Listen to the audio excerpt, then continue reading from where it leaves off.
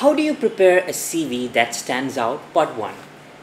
So, when you're applying for a job in a big four firm or a global MNC, then the objective would be to get your CV or resume through the application tracking system with the HR, or as we call it, the ATS system.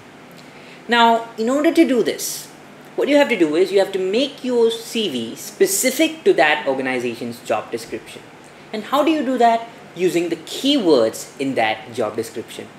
Now, I'll tell you a tip on how to do this. You just have to copy the job description and paste it in this website known as tagcrowd.com and visualize.